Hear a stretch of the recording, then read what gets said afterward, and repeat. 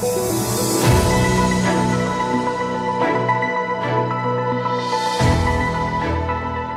Sí, al día de hoy llevamos 36 escuelas eh, aperturadas de manera presencial y de manera general, incluso en aquellas que, que, se mantienen a distancia, traemos un registro del 7% de la matrícula general del municipio que aún no hemos logrado establecer comunicación con ellos. ¿Qué quiere decir esto? Que los padres de familia como responsables de la educación de sus hijos, eh, no se han acercado a las escuelas para, para solicitar ya sea mm, brindar datos actualizados de contacto.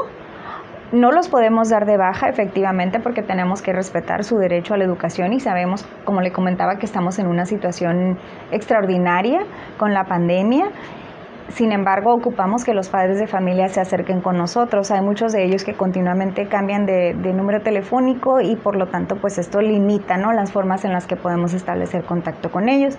Se les pide correo, se les pide domicilio, se les pide eh, el número telefónico no nada más de una persona, sino de varios contactos, ¿verdad? Que pueden ser familiares y demás, pero sí hay algunos alumnos con los que definitivamente no se ha tenido contacto alguno y requerimos que se acerquen porque los espacios ahí están, ¿verdad?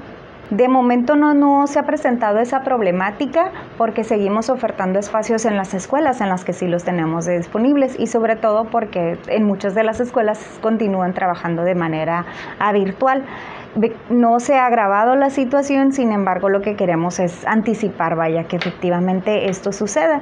Sabemos que hay familias que a lo mejor se regresaron al interior de la República, eh, nada más requerimos que si efectivamente ya no están aquí, pues hagan la solicitud de la, de la baja o en todo caso retomar, vaya, el seguimiento de la educación de sus niños y ponerse en contacto con el directivo, eh, con el docente o acercarse directamente aquí a las oficinas de la Secretaría.